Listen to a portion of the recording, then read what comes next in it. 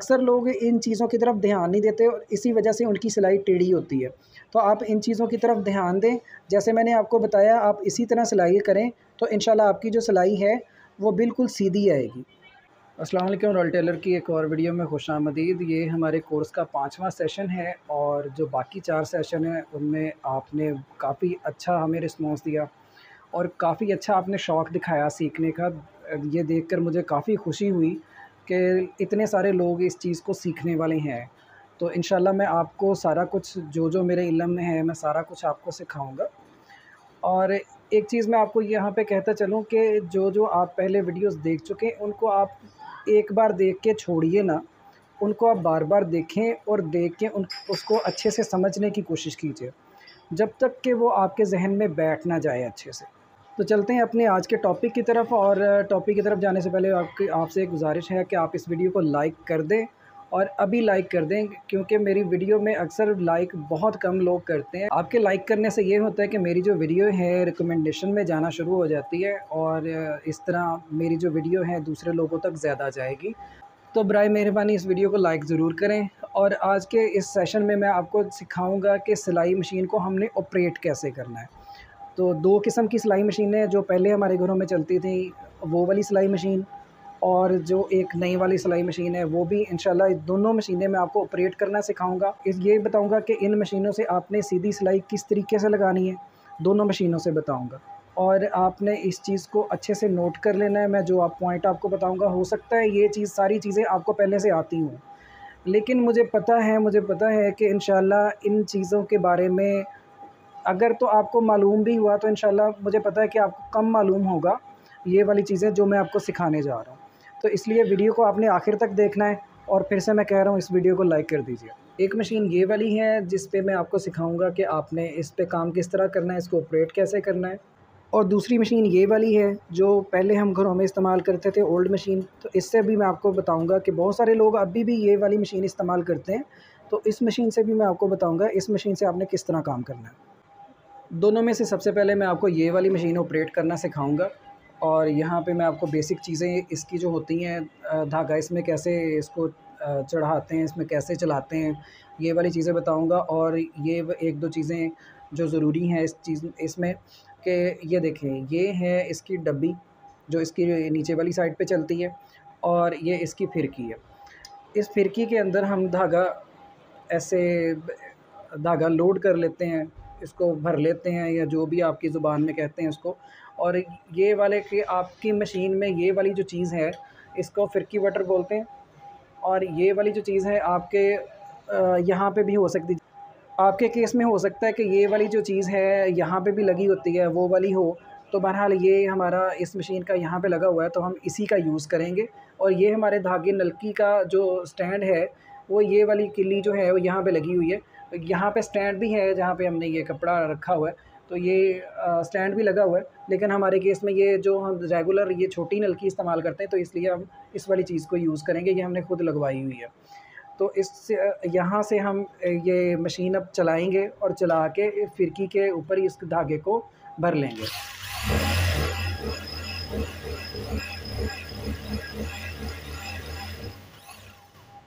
धागा हमने भर लिया। अब इसके बाद ये डब्बी के अंदर, इस फिरकी को डब्बी के अंदर रख के और इस तरह से हम ये डब्बी के इस धागा इसके ऊपर सेट कर लेंगे। इसके अंदर, ये देखें, इस तरह से ये धागा आराम से निकल रहा है। अब इसको उठाने की, मशीन को उठाने की ज़रूरत नहीं होती। ये वाली जो इस, इसकी जो ये एक जगह पे ना ये पॉइंट होता है, ये नोक होती है। इस नोक को हम अपने वाली साइड पे, ये अंगूठे वाली साइड पे रख के यहाँ मशीन के अंदर नीचे से, इस तरह हाथ नीचे से निकाल के यहाँ पे लगा सकते हैं। लेकिन मैं आपको लगाने का तरीका अगर बता दूँ यहाँ पे तो इसको इस तरह से हमने उठाना है। और उठाने के बाद ये जो इसका शटल है शटल के अंदर हमने इसको इस तरह से ये जो इसका सेंटर है, इस ये वाली जो इसका पॉइंट है, इसके अंदर हमने ये इसको लगा देना है। इसको थोड़ा सा पुश करेंगे, आपको एक आवाज़ भी आएगी तो आपको पता चल जाएगा कि ये फ़िरकी इसके अंदर लग चुकी है।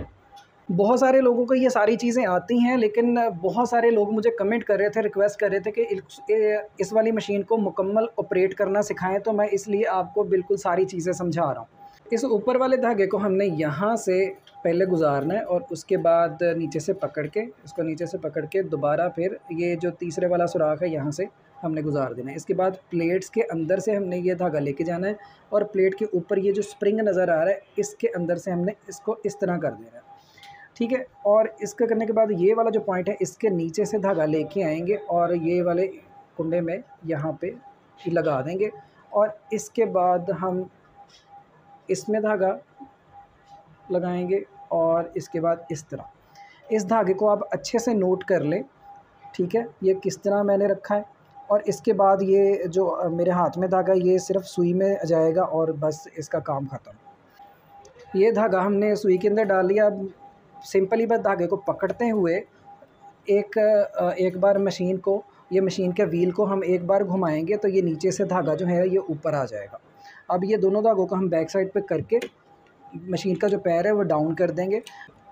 ये इसका नीचे एक फुट ऑपरेटर लगा होता है। यहाँ से भी आप इसको ऑपरेट कर सकते हैं, जो आपने अपनी टांग के साथ इसको ऑपरेट करना है।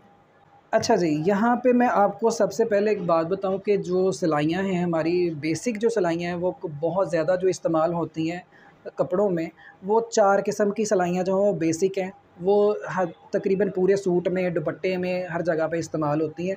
और उसके बाद की जो सिलाइयाँ हैं, वो भी मैं आपको बताऊँगा इसी वीडियो में सबसे पहले तो हम ये जो किनारे की सिलाई है, सबसे पहले मैं आपको बताऊँगा किनारे की सिलाई, जो कि सबसे ज़्यादा मुश्किल है। पैर को आपने उठाना है और यहाँ पे इस वाला ये जो किनारा हमारा बन रहा है, इस किनारे के ऊपर हमने सिलाई लगानी है। ठीक है? अब मशीन जब भी आप चलाएँ तो आप इस चीज़ का ध्यान रखें कि ये जो पीछे वाला धागा है, इसको आपने हाथ लाजमी रखना है, इसके ऊपर नहीं तो ये धागा सुई के साथ, ये सुई के साथ शेडल के अंदर जाके फंस सकता है। जब आप सिलाई लगाने जा रहे हो तो आपने इस चीज़ की तरफ़ ध्यान नहीं रखना कि ये वाली जो सुई है आपकी कहाँ पे लग रही है, कहाँ पे गिर रही है। आपने अपने पैर की तरफ़, अपने फुट की तरफ़, मशीन के फुट की तरफ़ आपने ध्यान रखना है कि ये वाला जो फुट है, यहाँ ये जो हमारा कपड़ा है, ये फुट के किस वाले पॉइंट पे जा रहा है। और अगर आपका कपड़ा जो आपने हाथ से आप इसको सीधा रखेंगे, इसी वाले पॉइंट पे जाई जाएगा तो वो आपकी सिलाई जो है वो इंशाल्लाह बिल्कुल सीधी लगेगी। मैं आपको लगा के दिखाता हूँ।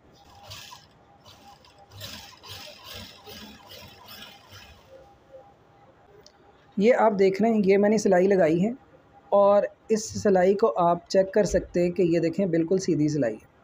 मैंने आपको बताया, आपने फिर से अपने नोटिस में इस चीज़ को रख लेना है कि कपड़ा आपने ये नहीं देखना कि हमारी जो सुई है वो कहाँ पे गिर रही है, कहाँ पे जा रही है? आपने इस चीज़ को नोट करना है कि ये वाला जो कपड़ा है हमारे किस वाले पॉइंट पे जा रहा है और सिलाई हमारे किस पॉइंट पे लग रही है। जहाँ पे ये देखें कि आप अगर यहाँ पे यहाँ पे कपड़ा रख के सिलाई लगा रहे हैं तो आपको पता चल रहा है कि ये मेरी मेरी जो सिलाई है वो सीधी जाएगी यहाँ पे, अगर रखेंगे। तो उसी वाले पॉइंट पे आपने कपड़े की तरफ़ ध्यान रखना है कि कपड़ा जो है वो आपका फुट की उसी वाले पॉइंट पे जाता जाए और इस तरह आपकी सिलाई जो है वो सीधी लगेगी। अब मैं आपको बताने जा रहा हूँ दूसरी सिलाई दूसरी सिलाई हमारी ये वाली है, इसको हम बोलते हैं हाफ़ पैर की सिलाई। ठीक है? तो ये वाला जो सिलाई है, इसको भी हम उसी तरीके से लगाएँगे जैसे मैंने आपको पहले बताया।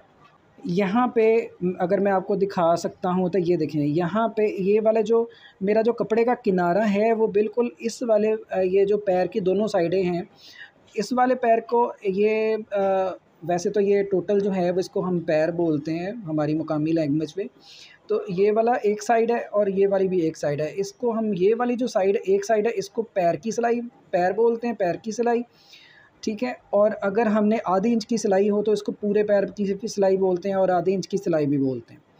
ठीक है? अब ये आप नोटिस करें कि ये वाला जो मेरा कपड़े का किनारा है, बिल्कुल इस वाले इस वाले पॉइंट के बिल्कुल सेंटर में जा रहा है, इस वाले पैर के बिल्कुल सेंटर में जा रहा है। ये देखें। अब अगर ये वाला मेरा कपड़ा जो है वो कंटिन्यूसली इस वाले पॉइंट के अंदर जाता रहेगा, इसी पॉइंट पे जाता रहेगा तो मेरी जो सिलाई है वो बिल्कुल सीधी आएगी।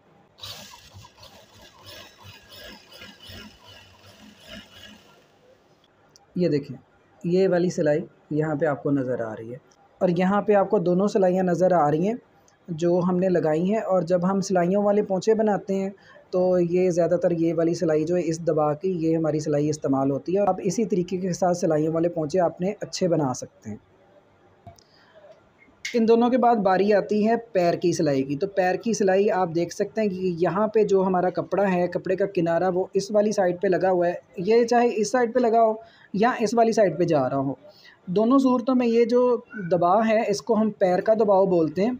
ठीक है? तो ये पैर की सिलाई हम लगाने जा रहे हैं। जितनी देर तक ये जो वाला जो किनारा है, पैर के बिल्कुल इस वाले पॉइंट के साथ जाता रहेगा कंटिन्यूसली तो ये तब तक हमारी जो सिलाई है, बिल्कुल सीधी जाएगी।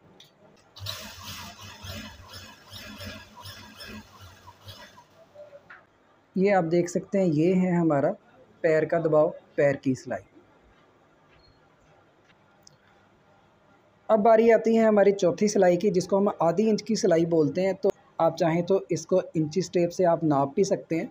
तो वैसे तो ये वाला जो इतना दबाव, जैसे ही आपको नज़र आ रहा है तो ये वाला जो दबाव है, ये आधे इंच का दबाव है। यहाँ पे मैं आपको एक चीज़ और भी बताऊँ कि ये वाला आप नोटिस करेंगे अगर कि ये वाला जो किनारा है कपड़े का और ये वाला किनारा इस वाली लाइन के ऊपर चल रहा है। तो इस तरह अगर इसके, इसी लाइन के ऊपर ये कंटिन्यूसली चलता रहेगा तो हमारी जो सिलाई है वो बिल्कुल सीधी आएगी। और ये वाली जो सिलाई है, ज़्यादातर इस्तेमाल होगी जब दो कटे हुए कपड़े को आपस में जोड़ने के लिए ज़्यादातर ये वाली सिलाई इस्तेमाल होती है।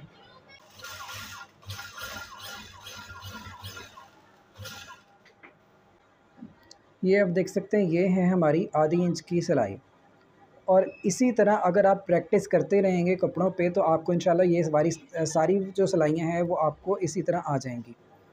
इसी तरीके का इस्तेमाल करते हुए आपने सारी सिलाइयाँ लगानी है, चाहे वो किनारे की हो, पैर की हो, वो आधे पैर की हो या आधी इंच की सिलाई हो, इसी तरीके से आपने इस आपने ये सारी सिलाइयाँ लगानी है। आपने ये चीज़ देखनी है कि ये वाला जो हमारा कपड़ा है, ये हमें कपड़ा जो है फुट की कहाँ पे चल रहा है? इधर इधर या इस वाले पॉइंट पे या हमारा इस वाले पॉइंट पे, इस वाले पॉइंट पे, इस वाले पॉइंट पे। और ये जो लकीरें लगी होती हैं, ये जो नंबर्स लिखे होते हैं, ये भी यही काम करते हैं। ये हमें बताते हैं कि हमारी जो सिलाई है, वो कहाँ पर जा रही है। अक्सर लोग इन चीज़ों की तरफ़ ध्यान नहीं देते और इसी वजह से उनकी सिलाई टेढ़ी होती है। तो आप इन चीज़ों की तरफ़ ध्यान दें। जैसे मैंने आपको बताया, आप इसी तरह सिलाई करें तो इन आपकी जो सिलाई है, वो बिल्कुल सीधी आएगी। एक जो बड़ा ज़रूरी पार्ट है मैं आपको बताने जा रहा हूँ, जो बहुत ज़रूरी चीज़ है कि ये मशीन का रिवर्स होता है। ये जब हम इसको दबाते हैं तो हमारी मशीन जो है, वो उल्टा चलना शुरू हो जाती है। तो इसका काम ये होता है कि जब हमने सिलाई एक शुरू की हो तो उसको पक्का करने के लिए ये हमें एक रिवर्स की ज़रूरत होती है। तो ये वाला रिवर्स उस चीज़ के काम आता है। जब हम सिलाई लगाते लगाते इसको पुश करेंगे तो हमारी मशीन जो है, बस इतना सा इतना सा आपने पुश करके छोड़ देना, ऐसे। हमारी जो मशीन है वो एक रिवर्स करेगी, जिससे हमारी जो सिलाई है वो पक्की हो जाएगी।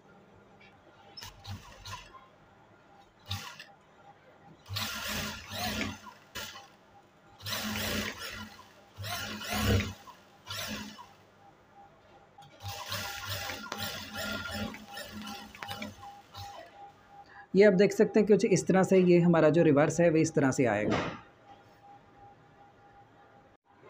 ये हमारी पुरानी मशीन है जो हम पहले इस्तेमाल करते होते थे।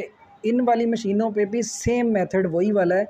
अब मैं आपको यहाँ पे सिलाइयाँ लगा के तो दिखा सकता हूँ, लेकिन ये बात ये है कि हमारी वीडियो जो है वो ऑलरेडी काफ़ी लंबी हो चुकी है। तो इस वाले पैर को भी आप उसी तरह ऑपरेट करेंगे, जैसे मैंने आपको दूसरी मशीन पे बताया। सिर्फ़ मशीन का फ़र्क है, सिलाइयाँ हम सेम तरीके से लगाएँगे। जैसे हम उस मशीन पे सिलाई लगाएँगे, हम इसी, इस वाली मशीन के ऊपर भी बिल्कुल इसी तरह से सिलाई लगाएँगे। ये थी हमारी आज की वीडियो। उम्मीद है दूसरी वीडियोस की तरह ये वाली वीडियो भी आपको पसंद ज़रूर आई होगी। अगर आपको किसी चीज़ की कन्फ्यूज़न हो अभी भी, आप मुझे कमेंट कर सकते हैं। इंशाल्लाह मैं आपके कमेंट का जवाब ज़रूर दूँगा। अगली वाली वीडियो में हम इंशाल्लाह ट्राउज़र को बनाना सीखेंगे। अल्लाह हाफ़